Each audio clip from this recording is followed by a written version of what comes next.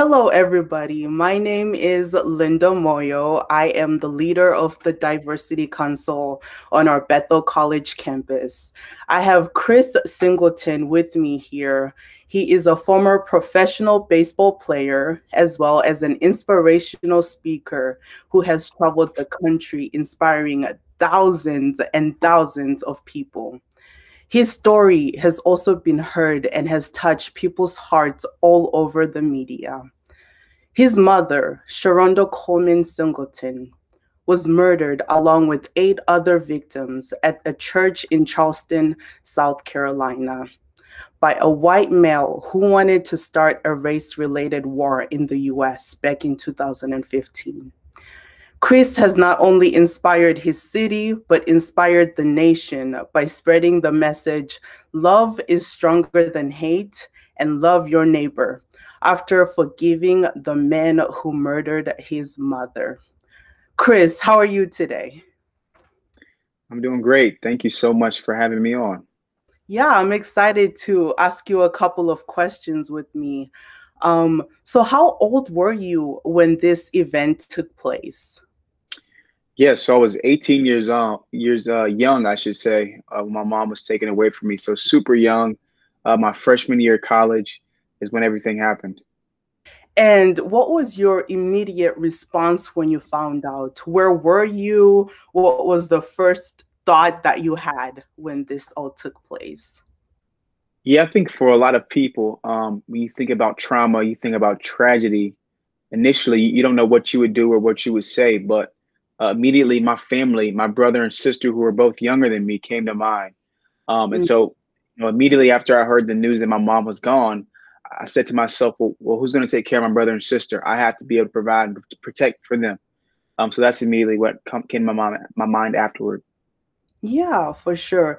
And for an 18 year old, that's something that is unimaginable for you to feel like you now have to be responsible and the man of the household and take care of everything. Um, so you have forgiven this man who murdered not only your mother, but eight other victims. Um, and I have heard the saying, you can forgive, but you can never forget. How do those two things live with one another? How has this played out in your own life? Yeah, I think uh, that's a great point that you made, and I say that quite often. Right? You can you can forgive somebody for something that truly hurts you deep down inside, but it's impossible to forget it.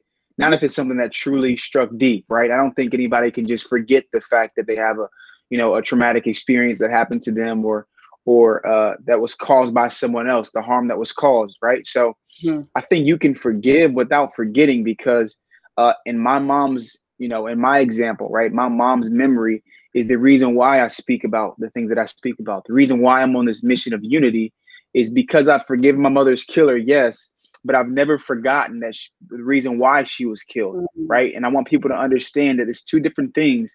Um, but forgiveness has allowed me to move forward. And to be honest, if I hadn't forgiven my mother's killer, I, I guarantee you I wouldn't be able to talk about the things that I speak about when I share. Yeah, definitely. So others like me and many other people do not have as big of a traumatic event that caused them to forgive in the capacity that you have had to do. So, how can we practice forgiveness on a smaller scale? Like, what are some daily disciplines to practice that to help um, us to forgive as well? That's a great question. I think number one, um, we when we think about forgiveness, we have to change our narrative with it, right? Mm-hmm. So uh, initially, when people think about forgiveness, they think about weakness, they think about submissiveness, uh, they think about a person that doesn't have any strength. And if we could flip the switch in our brains to think about forgiveness as being powerful, right, being extremely yeah. tough to do, but worth it, I think that's something that everybody can do. Um, and the second thing that we need to to realize is why am I forgiving this person? You know, mm. we can say we want to forgive somebody all day uh, and all night, but if we don't want, if we don't know why we want to forgive them, how's it going to help us accomplish our dreams, goals, and aspirations in life? Right? If we have things, then it's going to be very tough for us to truly forgive somebody, not just saying it, but in our hearts. So, something that I personally struggle with is I can forgive other people, but I have a hard time forgiving myself. Do you have you ever experienced something like that? And how would one overcome forgiving themselves?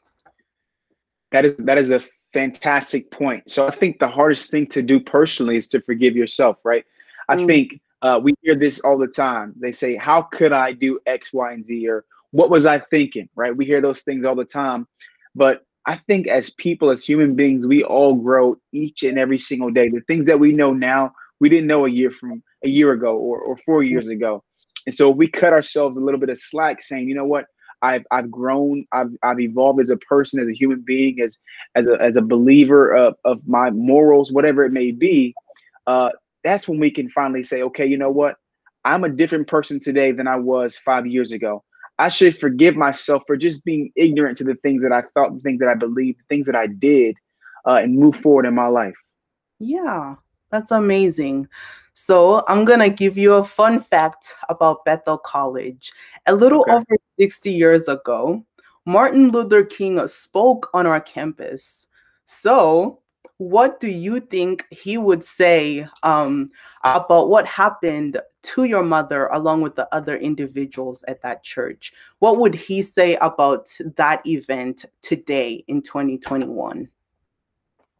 Yeah, that's a that's that's some great history for one. It, will be an honor to be able to visit the same place that he visited. So um, he's one of my heroes. But you know, if I think if he was here in the flesh uh, when my mom was taken away, I think Dr. King number one would be disappointed. But I don't think he would be uh, surprised by something like that happening. Right? Here's a man that was thrown into jail numerous times uh, just for trying to get people that look like myself to have civil rights. And mm-hmm. I think mm-hmm. that he wouldn't be surprised, but he wouldn't uh, give up either, right? When something like that happens, I think we have to continue to push forward. And I think he would be leading the charge, pushing people to say, you know what, doesn't matter what our, our skin color is. It's all about our character. Just like that quote when he says, you don't judge somebody by the color of their skin, rather by the content of their character. I think he would definitely be driving that home had he been there at the time of my mom's passing. Yeah. One of my favorite quotes is I come as one, but I stand as 10,000. I think I heard that from Maya Angelou.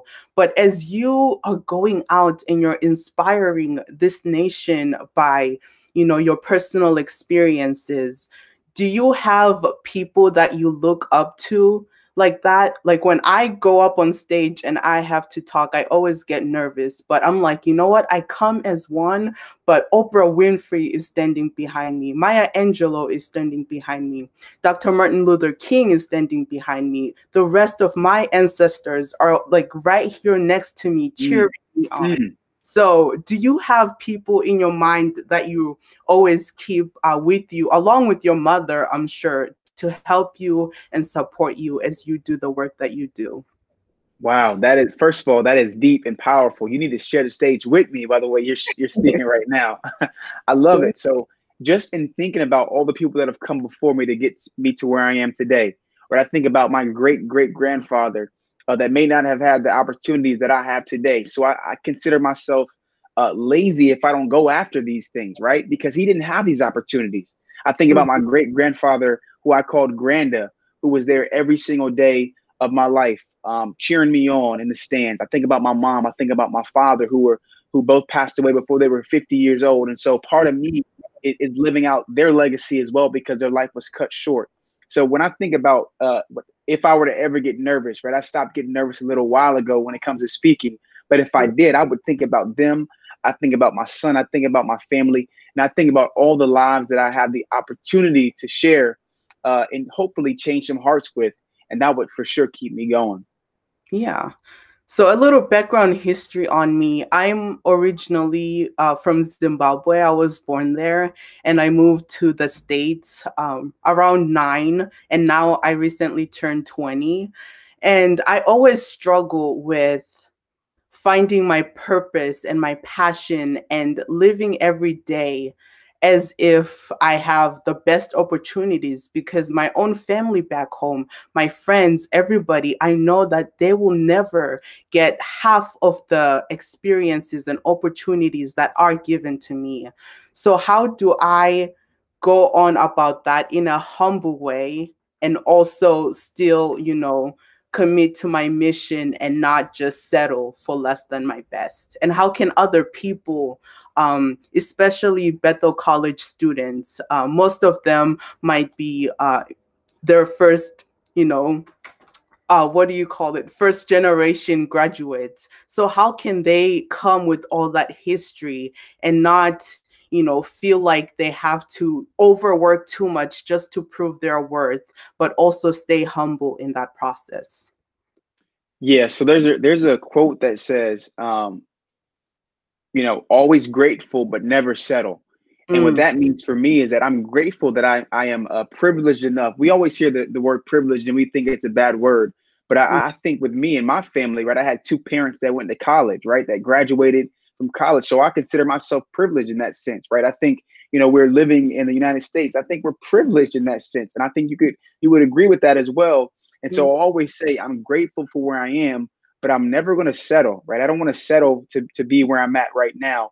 One of my buddies, Jeremy Anderson, always says that, you know, always grateful, but never settle. And that's what I would encourage people to do right? You, you know where you're at right now. Be grateful for the people that have allowed you to get to where you are right now, but mm. it shouldn't be done, right? We're, we're young. We, we have so much time ahead of us, you know, hopefully, right? We don't know when our last day on this earth is. So every single day, we need to be making sure that we try to make an impact and be the best person that we can be and win that day. Wow, that's powerful. Um, how can student organizations such as Diversity Council, who strive to bring and celebrate unity within our cultures, communicate to other students and our community about race related issues while holding each other accountable? Yeah, I think number one, uh, we have to realize that not everybody wants to be the person that's going to be sharing the things that I share about, right? Mm. When we talk about race, when we talk about uh, certain things like that. It's a cringy topic for some people, right? Because they've never spoken about it before. And I think that once you realize, okay, this isn't everybody's cup of tea, we need to break it down in a way that everybody can relate to. I love sharing stories. I love sharing, hearing different perspectives because that initially can lower that barrier of somebody's opinion that they've been taught for 20 years or for yeah. 40 years. When you share those stories first, then you can get the insight on what that person believes and why they believe it and that's when you can start to have the dialogue. I see a lot of problems come into place when you know a person such as myself, I consider myself an activist, even though I'm not marching at every single uh, march or, or, or screaming this or shouting that. I consider myself an activist for unity, right? Yeah. And so with me, I know that, but sometimes before I approach somebody that may have a different perspective or may simply be ignorant to certain things, I have to, you know, be humble myself first so mm-hmm. that I don't immediately turn their you know immediately turn their ears off and walk away from it. So I yeah. would I would encourage people to say first and foremost, listen to their story before you educate them. Um, mm-hmm. Um, another thing I would advise people to do is if you want to be anti-racist, if you want to learn more about the things you may may or may not have been taught, uh, do some research beforehand, right? I think it's great for us to be able to teach certain things, but if if you're if you uh, want to learn about them, do some research on your, your own. Google is a is a huge thing you can use. Bing, whatever you want to do research before you ask those questions. Then I realized, okay, you are serious about it and you do want to learn. Um, Chris, you with what you have dedicated your life to on spreading such a powerful message of love is stronger than hate, love your neighbor. And I always see you posting hashtag can't let moms down. Do you feel like change is taking place in this country concerning race and unity? I'll tell you. I'll tell you why I do believe that change is starting to come about. Um, I think for the first time in, in a long time, people are starting to put themselves in the shoes of someone else. Mm. And so we talk about empathy being huge. We talk about compassion being being huge right now. I think the ultimate sign of someone changing their heart or changing their perspective is when they say, you know, what if I was in this person's shoes, right? What would I think? What would I believe? And I think when we we're starting to see that now more than ever before um, and I think that is why we're heading in the right direction. Now, will it go slowly for some people? For sure. Will it not happen for some people? For sure. But I think that it is happening for for people, and that for me gives me a ton of hope uh, moving forward on what I do. How can we um, continue to have that hope, that desire to hold on to the um, little that we can so that we can strive to continue to create better changes? Because in the last 60 years, yes, change has happened, some people consider it slow. Some people are like, whoa, we have moved way too fast. So, how can we continue to walk on this marathon instead of looking at it as a quick race that we're going to finish anytime soon? Yeah, I think there's a quote that says, um, if you want to go fast, go alone. If you want to go far, you go together. Yes. Um, and so right now, I think, uh, you know, there's been a lot of conversations people are having, a lot of education that's happening. Um, and I think we're we're just equipping ourselves to go together, right? Locking arms with people of all different races, religions, skin colors, beliefs, to all just you know move towards what unity looks like. And for me, that that vision is when I see somebody for who they are and their differences, and I don't automatically assume certain things about them because I realized I didn't choose those things about myself either. Mm-hmm. Thank you. Um, also, Chris, you have dedicated your life um, on inspiring others from your personal experiences. And one of the things that I deeply believe in is the power of words. That's why we've been, you know, mentioning all these different quotes and the power of storytelling and the healing capabilities that those things have. How has that experience of healing manifested in your life when you are constantly opening up publicly about your personal experiences and trauma? I'm going to be honest. For me, um, sharing the things that I share about, uh, it's therapeutic for me, right? Mm. I think a lot of people, a lot of times people go through things and they they bottle them up. They never express how they truly feel. And with me, I'm an open book, right? I share too much sometimes, probably, but I, I share everything because it's therapeutic for me. And I read there was a good book that says, you know, there's life and death in the power of the tongue, and I think that that is very, very true. Um, so I'm just trying to continue to speak life whenever I can. And have you ever had to go to therapy for what happened to your mom or has the stage and talking with all these various people been that therapy session for you? You know, initially I didn't go to therapy for about two years after my mom was killed. Mm-hmm. And uh, playing baseball um, for the Cubs organization, we had ther- therapists that were there and they were free. And I oh. said, you know what, let me start going. Um, and I started to go, and it was life changing for me because for the first time I realized, you know, being strong doesn't mean bottling everything up. Being strong means, you know, I'm sharing these things as a man you know, that, that has heartbreak, that has pain that I felt. And I'm still a man after I let out those tears, right? That that makes me real. It doesn't make me weak. Um, and so that was huge for me. And then from that, I've continued to just, just share, uh, you know, and speak to, you know, colleges, corporations, high schools, all the above. And mm-hmm. it continues to be therapeutic for me. As a college student, and as a psychology major, there is a lot of stigma when it comes to therapy and self help and working on yourself to better whether those are your traumatic experiences, whether you're just trying to do what you want to do to, you know, improve. So, what words of wisdom do you have for people my age in being comfortable and being open to trying therapy, especially people of color? Yeah, I think uh, for me, uh, it was really just realizing, um, you know, I'm one of one. Like there will only be one Chris Singleton that looks like me, that has the same DNA as me. Mm. Uh, so why not try to be the best me? If that means trying therapy, let, let me try it at least to see what it what it's like. I said, always said at the very least, therapy sessions for me where I could talk bad about everybody and uh, get it off my chest. You know what I'm saying? And and I thought that for me was was something that I could smile about.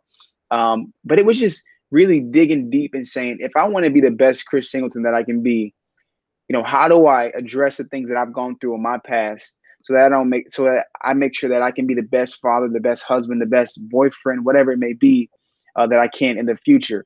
Now, so that was when initially I made that decision to go ahead and start, you know, going to my therapy sessions. Mm-hmm.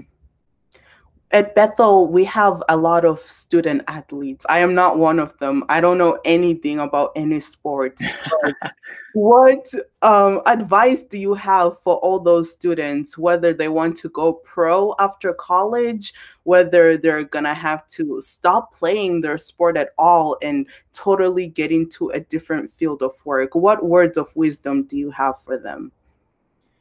Yeah, I'm a I'm a huge sports fan. I'm a huge uh, sports junkie. So I guess we're we're opposites on that end, right? I I love baseball. I played baseball. I was able to play in the minor leagues. Got drafted by the Cubs. I'm a huge basketball fan. I love LeBron James. He's like he's up there for me as far as like influential people to look up to. Uh-huh. Uh, but I think for most athletes, if any advice I can give is is one day you will stop playing like everybody else says, but really when you when you stop playing you need to know who you are as a person not just you know mm. what you did as an athlete. I think a lot of times people get caught up in into what they do as an athlete and not who are they who they are as a person. And so when they put the bat down or they put the ball down they have no clue who they are uh, as a person. And that can be a very scary place for a lot of people. So i just advise people to look in the mirror. Yes you're you're an all-star football player. You're a great basketball player, or hockey, whatever it may be, but who are you as a person? You know, what are your core values that you stand by? And, and once you figure those things out, I think the transition one day, whether it be five years after playing, whether it be, you know, 20 years after a great career, you will know who you are as a person. Yeah. So one of my favorite books that I've been constantly reading is called Chop Wood and Carry uh, Water The Process of I think it's falling in love with the process. I don't remember the rest of the title, but they talked about this same idea that when you have something, it can immediately leave you tomorrow. You never know. And who you're left with is yourself. And as good as that sounds, how do you actually do that? What is what are two practical steps that we can start doing by ourselves to learn and to know ourselves better? Yeah, I think when we talk about uh, you know practical things we can do, number one, I'd say when you look in the mirror, I, I think daily affirmations are powerful, right? What what are the things that you're saying, mm. right? Are, are, you saying things that uh, have to do with a person that loves animals, right? I, I love this, right? I want to serve that. And once you figure those things out, there are so many uh, grassroots nonprofits that you can uh, sh- that you can volunteer at. And doing that, I guarantee you will make you feel 20 times better than you did before you walked in there. Um, doing things like that, I think, are two practical steps. Number one, uh, when you say your daily affirmations, figure out what are the things that make you smile in the morning, right? Number two, go volunteer for organizations that, uh, you know, back those causes that you said when you looked in the mirror and said them.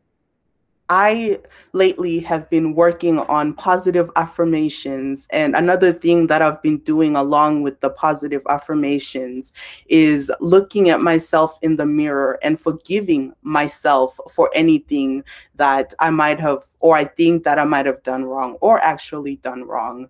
Um, so, what are some of the rituals that you do every day that help you to be a better person? Uh, number one, I spend time with my family. Uh, it's, it's been really good. I know it's, you know, with the pandemic, it's been, you know, hard. People can't see the ones that they love, but the ones that are, you know, close to you, like my wife, like my son, my brother that live in the house with me.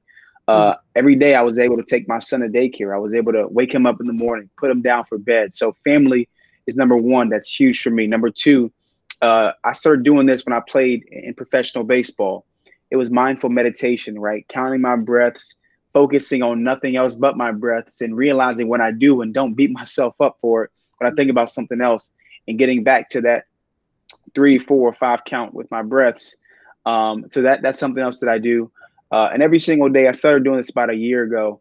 Um, I, I, try to, you know, read something. I'm a huge audiobook guy. So whether it's on the, the car ride to work, whether it's in, in, in the morning when you wake up, when you brush your teeth, just reading something that's going to help you improve in your life. Uh, so those are some of the things that I do every single day to become a better me. What are the two books that you have recently just finished reading or you're currently reading? Uh, one's called Atomic Habits by a guy named James Clear. It's a phenomenal book. I'm reading that right now. Uh, I finished a book called Extreme Ownership. Uh, that was a great book as well. Um, and I, I just got Barack Obama's uh, audio book, so I'm looking forward to diving into that uh, really, really soon. That's great. Um, what out of those two books, the first two books that you mentioned, would you recommend for college students to read in for them to better their lives and school work? Yeah, I'd say Atomic Habits would be a huge one, right? I think when it comes to college, it's easy to procrastinate, right? Yeah. It's easy to say I'll, I'll get it done at 11:50 because it's due at you know 11:59. I think a lot of times, uh, especially me when I was in college as an athlete, I would put things off till after practice or after I get back from my road trip. Um, but Atomic Habits basically teaches you the the science behind, uh, you know, making sure you never procrastinate. The science behind uh, being able to work out every single day or eat healthy, whatever it may be, there's a science behind it. And this the book Atomic Habits just basically breaks it down and shows you how you can build great habits and get rid of those bad habits that you have. So, Chris, you have a little boy, and recently you wrote a children's book called Different. Tell me more about that. Yeah, so uh, my my big gift to my mom uh, this this past year, 2020, was a children's book, right? It was a, a book I wanted to write about unity, right? How do I get this message of unity across to young people? Mm-hmm. And uh, children's book was a way. So I self-published this children's book, uh, not knowing if it would do well or if it would, you know, flop. It actually did extremely well, um, and it's called "Different: A Story About Loving Your Neighbor." Uh, and, and, the thing that I did was I actually read it to my son the day it released, June 17, 2015, five years after uh, you know, the exact day my mom was killed. So it was a very special moment for me. And uh, the book is is done extremely well. And I'm just grateful that people have, have ordered it, and have, you know, got it for as gifts.